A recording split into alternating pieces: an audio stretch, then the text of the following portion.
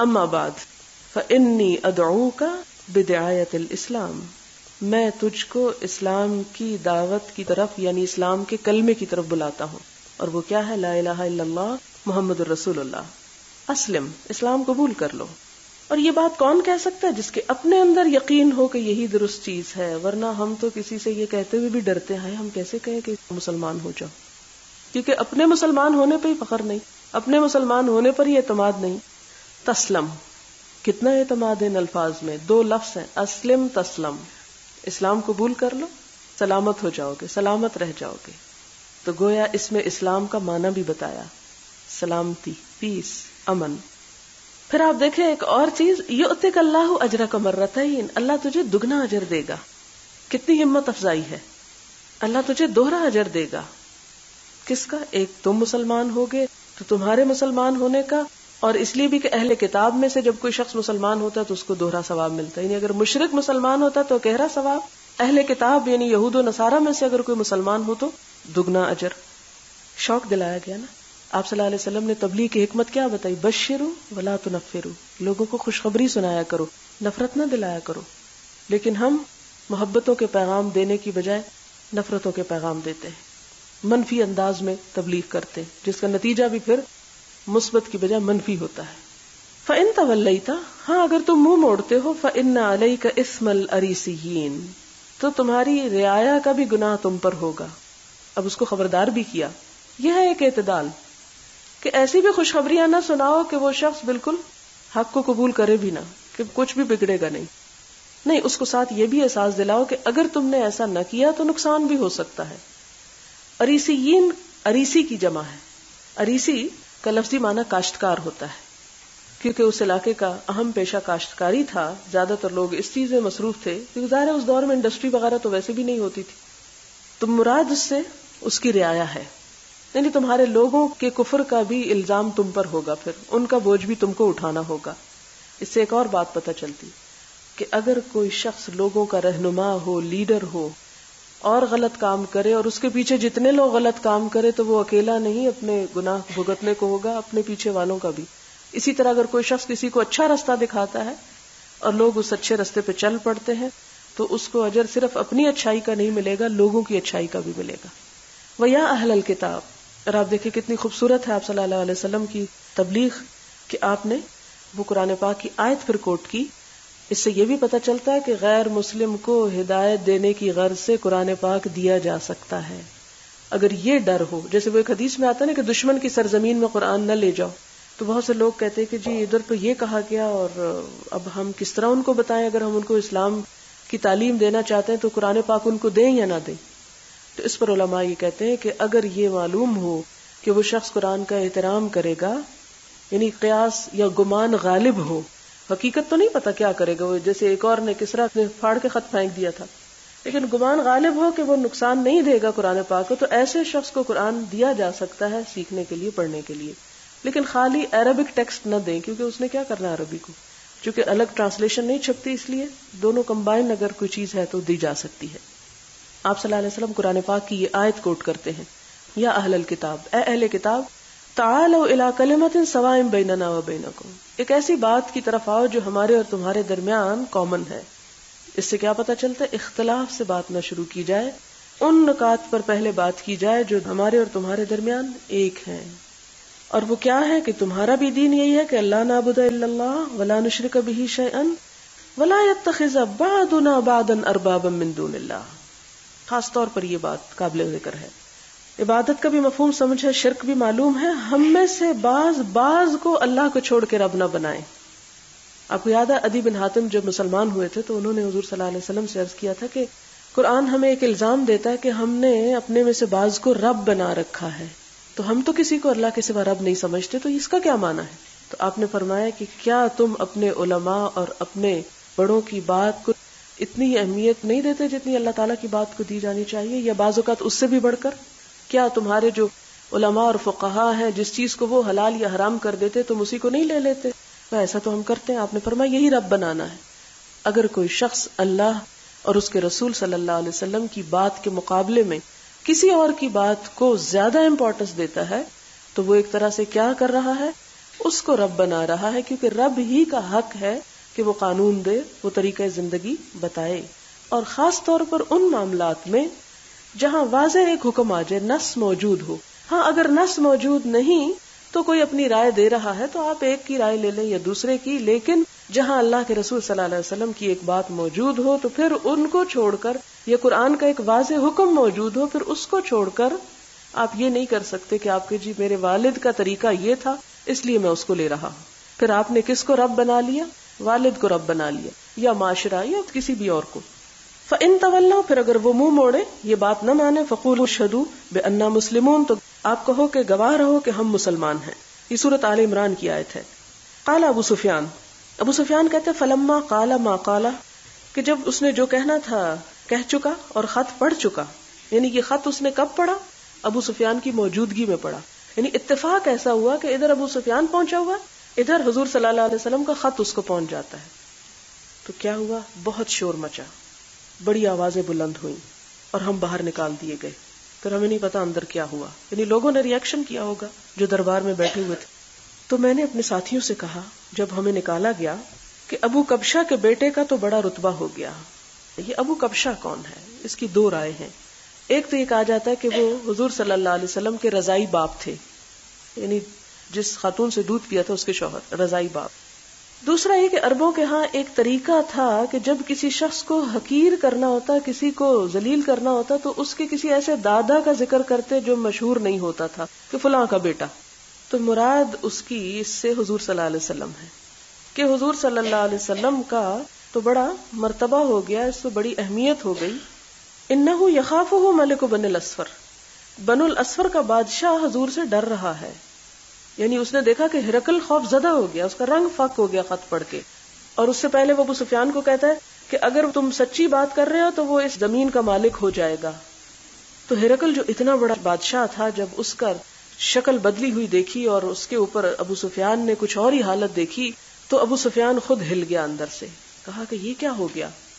जिसके साथ हम अदावत करते और जिसपे हम जंग मुसलत किए हुए और दुश्मनी कर रहे हैं, उसकी तो बात यहाँ तक पहुँच गई। और ये बनुल असफर नसारा ईसाइयों के लिए इस्तेमाल होता है। कहा यह जाता है कि रूम बिन ऐस, रूम, वही जो रूमी है और हज़रत इब्राहिम की औलाद है, रूम बिन ऐस ने ऐन से ऐस, हबशा के बादशाह की बेटी से निकाह किया। यानी ब्लैक्स में से किसी से निकाह किया तो उसकी जो औलाद पैदा हुई, उनका रंग येलोइश था। यानी न वो बिल्कुल सफ़ेद थे, रूमी सफ़ेद होते हैं ना। और न वो बिल्कुल ब्लैक थे, उन दोनों के दरमियान का कलर था। तो बनुल असफर उनको कहा जाता है, वो जर्द लोग। हम्म? इशारा है रूमियों की तरफ़। फमाजिल तो मुकिन अबू सुफियान कहता कि मुझे फिर यकीन हो गया कि अन्ना सैजहर कि हुजूर वसल्लम गालिब आ जाएँगे। अब ये इनका पैगाम दबेगा नहीं। हत्ता अदखल अल्लाह इस्लाम। और ये यकीन मेरा गालिब रहा, यहाँ तक कि मैं मुसलमान हो गया। अबू सुफियान कब मुसलमान हुआ था? फतेह मक्का पर। वकाना इब्न नातूर, अब ये जोहरी कहते हैं, रावी। यानी ये बात यहाँ अब जरा खत्म होगी, अब थोड़ी सी बात को और समझे। और इब्न नातूर, जो इलिया का हाकिम था और हिरकल का साथी था, साहिब इलिया साहिब के दो माने होते हैं, एक हाकिम और एक साथी। इलिया का हाकिम और हिरकल का साथी। एक और रिवायत में इसको इब्न नाजूर भी पढ़ा गया है, जोए के साथ। ये कौन था? उसकुफन। उसकुफ था। उसकुफ कहते हैं ईसाइयों के आलिम को, बहुत बड़ा पादरी। अला नसारा शाम शाम के ईसाइयों का बहुत बड़ा पादरी था। युहदिसो वो बयान करता था कि अन्ना हिरकल ही न कदम लिया हिरकल जब एक मरतबा बैतुल मुकद्दस आया, असबह यौमन खबीसन नफ्स। अब ये पिछली रिवायत खत्म हो गई है एक तरह से अभी एक और बात से इसी चीज़ को वाजे किया जाएगा। एक और किस्सा आ रहा है जिससे पिछली बात को सपोर्ट किया जा रहा है कि इब्न नातूर का बयान है, ये इब्न नातूर से रिवायत है। वो हिरकल के बारे में बताता है कि जब एक मरतबा वो बैतुल मुकद्दस आया तो सुबह जब उठा तो बड़ा ही परेशान था। तो उसने अपने बाज अहले मशवरा से कहा, बतारिका बितरीक की जमा है, बितरीक। और बितरीक कहते हैं, हुकूमत के खास आदमी, बादशाह के मशवरे वाले लोग। कद इस्तन करना है अतक, कि हम तेरी शक्ल बदली हुई देखते हैं। इस्तन कर रहे इनकार करना। हमें तेरी सूरत से इनकार है, यानी तू अपनी असल हालत में नज़र नहीं आता, तुझ में कोई फ़र्क है। काला इब्न नातूर इब्न नातूर ही कहता है वकाना हिरकल हज्जा कि हिरकल जो था वो नजूमी था। देखे कि ये इल्म नजूम, इसकी अपनी एक हकीकत है ये नहीं कि वो सौ फ़ीसद सच्चाई पर मबनी है, अंदाजे हैं लोगों के, एक इल्म है अपनी जगह। हमें उस इल्म के हासिल करने से रोका गया, हमारे लिए वो नापसंदीदा करार दिया गया।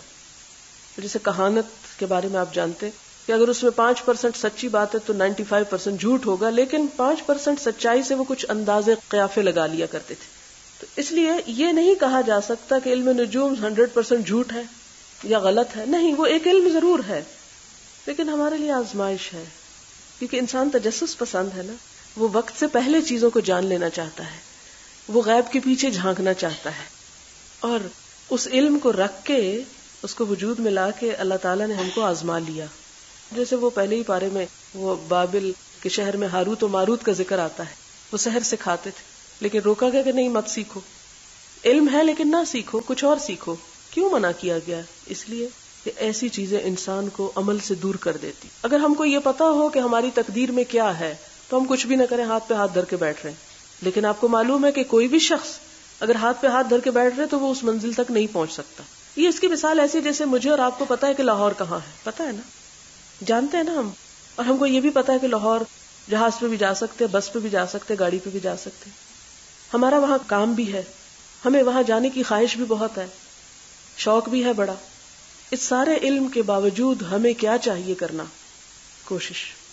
क्या ये जान लेने से कि लाहौर कहाँ है, कैसे जा सकते हैं, कितने घंटे में पहुँच सकते हैं? अगर ये सारी बातें हमें मालूम भी हो जाएँ तो कोशिश के बगैर हम वहाँ पहुँच जाएँगे। नहीं पहुँच सकते। अल्लाह ताला ने हमारी तकदीर में जो कुछ लिखा, हमारी किस्मत में, हमारे मुस्तकबिल के बारे में, जो कुछ लिखा, उसको जानबूझ के हमको नहीं बताया, वरना कुरान उतरा था तो हर शख्स को उसकी तकदीर भी लिख के दे दी जाती कि ये करोगे तुम सारी ज़िंदगी। लेकिन वो छुपा इसलिए दिया कि इंसान उस तक पहुँचने की कोशिश करता रहे, इसलिए नहीं छुपाया। या इसलिए नहीं कि लोग कहते जी, अल्लाह ताला को तो पता है हमको क्या करना है, इसलिए हम कुछ करें या ना करें, उसका कोई फ़ायदा नहीं। नहीं, ये बेकार की बहसें हैं। हमारा असल इम्तिहान ये है कि हम कोशिश करें। और इल्म नजूम और पामिस्ट्री और इन चीज़ों से इनका वजूद होते हुए हमें उनसे रोका गया कि उसके पीछे मत पड़ो। उन तमन्नाओं और आरजुओं और ख्याली पुलाव और इमेजिनेशन को देखते देखते बेकारी के अंदर मत चले जाओ, कुछ मेहनत करो। एक छुपी हुई चीज़ को ढूँढने के लिए इंसान कोशिश करता है ना। मसलन आपकी अंगूठी गुम हो गई तो आप उसको ढूंढ रहे हैं भाग दौड़ कर रहे हैं, आखिर पा लेते हैं। लेकिन अगर आपको पता है कि वो फलान जगह पड़ी है तो आप सीधा जाके उसको पकड़ लेते हैं। कोशिश खत्म हो गई ना। दुनिया में हमें किस लिए भेजा गया कि हम कोशिश करें और उसके लिए मुख्तलिफ़ इम्तिहान। अब बाजुकत एक चीज़ छुपा देते हैं और मसलन आप बच्चों के साथ खेल खेलते हैं, एक चीज़ लेके दो हाथों में से फिर आप बच्चे को कहते हैं कि बताओ किसमें है। वो गैस करता है, फिर वो कोशिश करता है वो आपका हाथ खोलता है। अगर वो सामने ही रखा हो तो बच्चा आएगा, उठा लेगा उसकी सारी एक्टिविटी और उसकी जहानत का आपने तो अंदाज़ा नहीं लगाया कि क्या है। इसी तरह अगर हमें ये पता हो कि हमने ये काम करना है और वो फ्यूचर हमारे सामने रख दिया जाए और हम वहाँ तक पहुँचे तो ज़िंदगी की सारा लुत्फ और कोशिश और जद्दोजहद और वो इम्तिहान और वो एक्साइटमेंट सब कुछ खत्म होकर रह जाए। तो हमारे फ़ायदे के लिए हमसे वो चीज़ें छुपाई गई। बहरहाल हिरकल जो था, नजूमी था। सितारों में देखकर कुछ अंदाजे लगाया करता था। जब उन्होंने उसका हाल पूछा तो कहने लगा कि मैंने आज रात सितारों पर नज़र की, ऐसा मालूम होता है कि खतना करने वालों का बादशाह गालिब हुआ तो इस जमाने में कौन लोग खतना करते हैं? उसके साथ ही कहने लगे, यहूदियों के सिवा कोई खतना नहीं करता। यानी उनको नहीं पता था कि अरब भी करते हैं। तो इनकी कुछ फ़िक्र न कर। मैसेज भेजो अपने सारे गवर्नर्स को। हर शहर में जितने यहूदियों सबको कत्ल कर दो। अब इससे आप अंदाज़ा लगाएँ वो लोग कहते हैं ना कि जी, अब तो यहूदी बड़े ताकतवर हो गए हैं और अल्लाह ताला का वादा कहाँ है कि उनके ऊपर गजबनाक हुआ और तारीख सारी देखे आप, वक्तन फवक्तन कुत के बावजूद, मालदार, तरीन होने के बावजूद, जिस तरह उन पर जुल्म सितम टूटे, ये कुरान की उसी पेशनगोई का नतीजा है। वक्त बिला मदायन मुल्क का फयक्तलो मनफी मिनल यहूद। फबैनामा हम अला अमरिहम। लोग अभी ये बातें ही कर रहे थे कि उतिया हिरकल बिरजुलिन। हिरकल के सामने एक शख्स को ले आए। जिसको गसान के बादशाह, जिसका नाम हारिस बिन अबी शिमर था, उसने भिजवाया था। तो वो आ हज़रत सल्लल्लाहु का हाल बयान करने लगा। जब हिरकल ने सब खबर उससे सुन ली तो अपने लोगों से कहने लगा, जरा जाकर इस शख्स को देखो, इसका तो खतना नहीं हुआ हुआ। उन्होंने जाके देखा तो हिरकल को बताया कि इसका खतना हुआ हुआ है। और हिरकल ने उससे पूछा कि, क्या अरब खतना करते हैं? उसने कहा हाँ खतना करते हैं। तब हिरकल ने कहा, यही शख्स, यानी पैगंबर सल्लल्लाहु इस उम्मत के बादशाह हैं जो गालिब हुए हैं, जिसका आसार वो सितारों में देख रहा था। यानी यहूदियों में नहीं, कोई चीज़ ये, हजूर वसल्लम अरबों में आएँगे। फिर हिरकल ने क्या किया? अपने एक दोस्त, कतब हिरकल साहिब लहू ये दोस्त कौन था? इसका नाम जगातिर है जुआद गैन अलिफ तो रे जगातिर। उसको रूमिया में लिखा, शहर एक है, उसमें खत लिखा, और वो इल्म में हिरकल के बराबर का शख्स था। और हिरकल खुद हिम्स गया। अभी हिम से निकला नहीं था कि इसके दोस्त जगातर का खत उसको पहुँच गया। यानी जो परेशानी नकल को हो रही थी, अब वो सारे जो अलामत थी, वो वाजे तौर पर देख के हजूर वसल्लम की नबूवत को तो उसने मशवरा किया किससे? अपने जैसे एक शख्स से जिसका नाम जगातिर था। और उसने भी क्या राय दी इसको? कि हजूर वसल्लम ज़ाहिर हो चुके हैं। यानी इसकी और जगातिर की राय भी एक थी कि आप वसल्लम सच्चे नबी हैं। अब इसको और फ़िक्र पड़ी। यानी हर तरफ़ से उसने तस्दीक कर ली, मारिफत हासिल कर ली। आखिर हिरकल ने रूम के सरदारों को अपने हिम्स वाले एक महल में आने की इजाज़त दी। अब हिरकल एक दफ़ा तो पहले रूम के अजीम लोग बैठे हुए थे ना, अब हिरकल ने फिर बुलाया उनको। पहली दफ़ा उन्होंने क्या किया था खत सुन के? शोर हंगामा। फिर बुलाता है। जब आ गए तो दरवाजे बंद कर दिए। और खुद ऊपर से नीचे आया। दस्करा का मतलब है महल। और कहने लगा, रूम के लोगों, क्या तुम अपनी कामयाबी और भलाई और अपनी बादशाहत पे कायम रहना चाहते हो? रूम के लोगों, एक अब वक्त ऐसा आन पड़ा है कि तुम्हें फैसला करना होगा। क्या तुम चाहते हो कि कामयाबी हासिल करो, हिदायत पाओ और ये बादशाहत भी तुम्हारी मिली रहे तुमको? उन्होंने ज़ाहिर कहा होगा कि हम चाहते हैं। अगर ऐसा है तो क्या करो? अरब के इस पैगंबर से बैत कर लो। फतबा हाजर नबी। अब वो हजूर सलाहम को नबी मान चुका है। लेकिन सुनते ही वो लोग जंगली गधों की तरह दरवाजों की तरफ़ लपके, नफरत से भागे कि हम नहीं ये मान सकते। देखा तो वो बंद है। जब हिरकल ने देखा कि इनको ईमान से इतनी नफरत है और इनके ईमान लाने से नाउम्मीद हो गया तो कहने लगा, इन सरदारों को वापस लाओ। जब वो वापस आए तो बात बदल दी अपनी। क्या कहा? मैं तो तुम्हें आजमा रहा था कि तुम अपने दीन में कितने सच्चे हो। और ये बात सुन के सारे लोग उसके आगे सजदे में पड़ गए, उससे राज़ी हो गए। और ये था हिरकल का आखिरी अंजाम, कि वो इस्लाम पर नहीं, कुफर पर ही मरा। जब हिरकल का एक खत हजूर सल्लल्लाहु को पहुँचा तो आपने फरमाया, वो मुसलमान नहीं है। बावजूद इसके कि उसको मारिफत हो गई, पहचान गया। अब आप देखें कि ये हदीस आखिरी ईमान का सवाल उठता है। यहाँ के ईमान क्या है? इमाम बुखारी इसके फ़ौरन बाद किताबुल ईमान ले आते हैं। आपने एक बात पढ़ी होगी कि कुरान की हर आयत दूसरी आयत से रिलेटेड है। इमाम बुखारी ने इसी पैटर्न पर एक बाप दूसरे से रिलेट किया है। अब आप देखें कि अब जब हम ईमान की तरफ़ बढ़ेंगे तो फिर ईमान की बातें पढ़ेंगे कि ईमान है क्या कुछ? और अपना अपना भी जायजा लेंगे कि हमारा ईमान किस दर्जे पर है और कितना है। सारी हदीस का खुलासा ये है, या इस सारे किस्से से बताना ये मकसूद है कि ईमान के लिए मार्फत कैसे हासिल की जाती? है ईमान किन चीज़ों पर मुश्तमिल है? यानी एक इस्लाम का असल नक्शा क्या है? और फिर हिरकल का किरदार इसमें वाजे किया गया कि किस किस तरीके से उसने कहीं से खत लिखा, कोई इल्म नजूम से देखा, कुछ और चीज़ों से हकीकत जानने की कोशिश की। लेकिन उसका चूँकि ये सब कुछ अपने दुनियावी मफाद को बचाने की खातिर था, पहचानने के बावजूद ईमान नसीब न हुआ। लिहाजा इसको ईमान नहीं कहेंगे। अगर कोई शख्स हजूर सल्लल्लाहु को सच्चा नबी कहता है, लेकिन नबी मानता नहीं तो वो मोमिन नहीं हो सकता। ये सवाल है कि हजूर वसल्लम पर जब गारे हिरा में वही नाजिल हुई और वो घर लौटे तो आपने ये किस्सा हज़रत खदीजा से बयान करते हुए फरमाया, मुझे अपनी जान का डर है। इसका क्या मतलब है? इसलिए कि फरिश्ते ने जिस तरह आपको भेजा था और इतना भेजा था कि यूँ समझे कि जैसे दम निकलने लगा हो। उस कैफियत को आप बहुत देर तक महसूस करते रहे।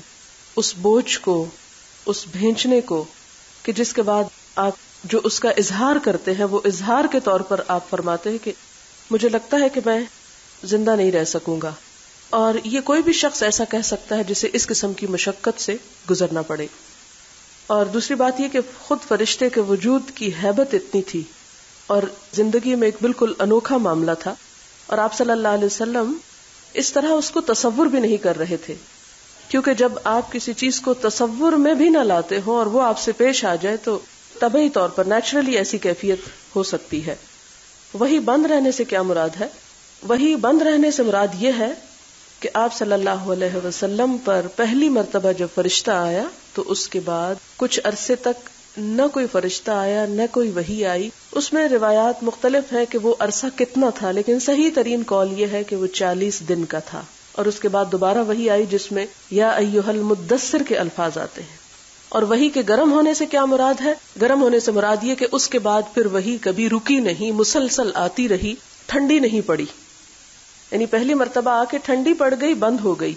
लेकिन उसके बाद जब शुरू हुई तो फिर वो सिलसिला उसी वक्त खत्म हुआ, जबकि कुरान पाक मुकम्मल हो गया। हजूर सल्लल्लाहु ने हज़रत खदीजा से फरमाया था जम्मिलूनी इसके बाद सूरत मुदस्सिर नाजिल हुई, जबकि जहन में यह सवाल आता है कि जम्मिलूनी की मुनासिबत से तो सूरत मुजम्मिल नाजिल होनी चाहिए थी। मुदस्सिर क्यों?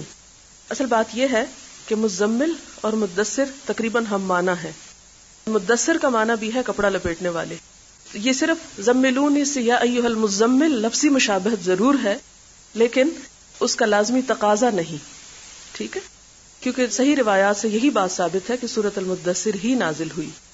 हदीस तीन में है कि आप सल्लल्लाहु अलैहि वसल्लम की तरफ़ महबूब किया गया अकेला रहना गारे हिरा में और इबादत करते थे अदद वाली रातों को। इसमें अदद वाली रातों से क्या मुराद है? यानी गिनती के दिन आपने इबादत की, कई साल नहीं की। यानी गारे हिरा में एक महीना भर रहे होंगे या चालीस दिन रहे होंगे, ये नहीं कि चालीस साल ही आप गारे हिरा जाते रहे। ये मुराद है। क्या अगर किसी महफिल में कुरान पाक पढ़ा जा रहा हो तो उसके साथ साथ वही अल्फाज क्यों नहीं दोहरा सकते? इसलिए कि कुरान पाक ही में आया है, इजा कुर अल कुरान फस लहू। गौर से सुनो उसको, उस वक्त बोलने की इजाज़त नहीं। और कल आपने सूरत अलकयामा की आयत में भी पढ़ा कि फ़ैज़ा करा फत तब कुराना कि जब हम पढ़ रहे हो उसको और हमसे मुराद यहाँ अल्लाह ताला है, लेकिन चूँकि जबरील सलाम अल्लाह ताला के मैसेंजर की हैसियत से आप सल्लल्लाहु अलैहि वसल्लम की तरफ़ आए थे, मसलन जब हम ये कहते हैं कि फुला महल फुला बादशाह ने बनाया, अब बादशाह तो उसमें ईंटे पत्थर नहीं उठा के रखते, लेकिन उसके चूँकि हुक्म से हुआ, इसलिए उसकी निस्बत बादशाह की तरफ़ है। यहाँ पर पढ़ तो जबरील सलाम रहे थे, लेकिन जबरील सलाम के पढ़ने को अल्लाह ताला ने अपना पढ़ना करार दिया, क्योंकि अल्लाह ताला का कलाम है, उनकी तरफ़ से ये मैसेज आया। इसलिए फरमाया कि जब हम पढ़ रहे हो तो पढ़ो नहीं, क्या करो? फत तबे पैरवी करो, यानी उसके बाद उसको दोहराओ। इसलिए जब पढ़ने वाला पढ़ चुके तो उसके बाद तो दोहराया जा सकता है साथ साथ नहीं पढ़ा जा सकता। ये बिल्कुल ऐसे ही है। इसमें उन्होंने लिखा कि क्या अदब के तौर पर मना है या गुनाह है? तो इसमें आप देखिए कि कुरान पाक में दो जगह पर इसकी ताकीद की गई। इसलिए अदब या गैर अदब की बात नहीं बेअदबी भी एक तरह का गुनाह ही है। इसमें बुनियादी तौर पर यह कि मिसाल के तौर पर आप देखिए कि जब आप बात कर रहे हैं और आपकी बात के साथ कोई दूसरा भी बोलना शुरू कर दे और वो सुने ना तो आप उसको क्या कहेंगे? इंतहा दर्जे की बदअखलाकी और बेअदबी। अगर इंसान अपनी बात के जवाब में उसी वक्त दूसरे से सुनने को एक्सपेक्ट करता है, बोलने को नहीं तो कहा अल्लाह ताला का कलाम? उसके साथ भी नहीं होना चाहिए। आपने हदीस में बताया कि जब कुरान पढ़ा जाए तो गौर से सुनो। अगर सीखने की गरज से कैसेट या किसी मौलवी साहब के साथ पढ़ा जाए तो इस बारे में क्या कहती हैं? आप देखें कि जहाँ ये लफ्ज आया कि इजा कुर अल कुरान जब भी कुरान पढ़ा जाए। ये नहीं कहा कि किसी मौलवी से पढ़ा जाए या खुद पढ़ा जाए। जब पढ़ा जाए तो जो सुनने वाले हैं वो खामोशी इख्तियार करें। और सीखने का राज गौर से सुनना है। और कुरान भी उसी वक्त दिल में उतरता है, जब कोई पढ़ रहा हो तो गौर से सुने, और जब खुद पढ़े तो तवज्जो से पढ़े। इसी तरह पांचवी हदीस में आपने हे को वाजे किया कि यहाँ क्या मुराद है? आ गया, नहवहू अन जोहरी, इससे क्या मुराद है? यानी जोहरी से भी इसी किस्म की रिवायत है। नहवहू का माना होता है इसी की मानंद, इसी जैसी। आपने कहा था कि दीन का शौक आता है तो हर इज़्ज़त वालों को लोग बेइज्जत कर देते इसका क्या मतलब है? इसका मतलब यह है कि अमूमन हम जब दीन पढ़ने लगते हैं या दीन की तरफ़ आने लगते हैं तो दूसरे सब लोग गुनागार नज़र आने लगते हैं। चाहे वो वालदेन हो या नानी दादी हो। अब मिसाल के तौर पर हमारी वालदा, या नानी दादी जो है, पिछले वक्त की खातन है। उन्होंने अपनी सारी ज़िंदगी हमें पालने पोसने में और दुनिया के काम धंधे निपटाने में गुजारी। उम्र भी पुख्ता होगी ख्याल भी पुख्ता हो गए। ऐसे में ज़ाहिर है कि जो कुछ हम सीख रहे हैं, वो तो उससे नहीं गुजरे। तो कुदरती तौर पर उनके और हमारे ख्याल और सोच और तर्ज अमल और बहुत सी चीज़ों में फ़र्क होगा। फिर इसी तरह होता है कि जब लोग उम्र में बड़े हो जाते हैं तो उनके लिए अपनी आदात को पुख्ता करना भी मुश्किल हो जाता है। तो अमूमन मेरे ये तजुर्बे में आया है कि बहुत सी नौजवान बच्चियाँ जब दीन की तरफ़ आती हैं तो अपने वालदेन की इज़्ज़त नहीं करती। या उनके वालदेन उनकी निगाहों में गिरने लगते हैं।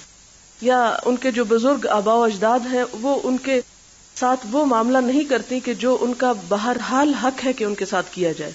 यानी उनकी इज़्ज़त की जाए। आप देखते हैं कि हजूर वसल्लम हज़रत अबू तालिब के साथ, जो कि मुसलमान नहीं हुए आखिरी दम तक, उनके साथ क्या मामला करते थे? यानी कि उनका ताल्लुक काटा नहीं उनके साथ? और न कभी किसी दिन नफरत से उनसे बात की, या उनके ऊपर गजबनाक हुए, या उनके साथ कोई ऐसा मामला किया? तो कहने का मेरा मतलब ये था, हिरकल के खत के खिताब से, कि आप सल्लल्लाहु अलैहि वसल्लम ने बावजूद इसके कि हिरकल काफिर था, लेकिन चूँकि रूमियों का बादशाह था तो उसको उनके ख्याल के मुताबिक उतनी इज़्ज़त दी जितनी वो अपने बादशाह को दिया करते थे। यानी इस्लाम हमें ये नहीं सिखाता कि अगर हमें अल्लाह ताला अपनी तरफ़ आने का रास्ता देते हैं या तोफीक देते हैं तो जो नहीं आए, उनको हम ख्वार करना शुरू कर दें या बुरा भला कहना शुरू कर दें। फिर इसी तरह एक सवाल है कि आपने कहा था कि कुफार को इस तरह मुखातिब नहीं किया जा सकता जिस तरह एक मुसलमान भाई दूसरे को मुखातिब करता है। तो क्या हुक्म गैर मुस्लिमों या अहले किताब के लिए भी यही है? जी हाँ अहले किताब के साथ भी यही होगा। जैसे एक यहूदी ने आके आप सल्लल्लाहु अलैहि वसल्लम को अस्सलाम वालेकुम की बजाय अस्साम वालेकुम कहा, और उसी के बाद असल में तो ये कहा गया कि सलाम की बजाय साम और साम का मतलब होता है मौत। तो आपने जवाब में कहा वह अलैकुम और इसलिए भी उन्हें एहसास दिलाया जाए कि तुमने इस्लाम कबूल न करके अपने आप को सलामती का मुस्तक नहीं बनाया। फिर इसी तरह की लंबा सा सवाल तकदीर के बारे में है कि हो सकता है हम एक दुआ मांगे और वो हमारे लिए कमतर दर्जे की हो और हम अपनी कम अकली की वजह से अल्लाह ताला से कम चीज़ मांग रहे हो। तो इस सिलसिले में अगर वो कबूल हो जाए तो इसका मतलब है कि हम एक खैर को नहीं पहुँचे। तो इस तरह के मसाइल में उलझना नहीं चाहिए। हमें अपने तौर पर जो चीज़ अपने लिए बेहतर नज़र आती हो, हमें वो मांग लेनी चाहिए। आगे आप देखें कि अल्लाह ताला बहुत से औकात एक दुआ कबूल फरमाते और बहुत औकत नहीं करते। अगर कबूल फरमा ले तो इसका मतलब है कि इसी में शायद हमारे लिए बेहतरी होगी, क्योंकि हम उससे उसका फजल भी तो मांगते हैं। हमें जब दुआ मांगने के लिए कहा गया तो यही कहा गया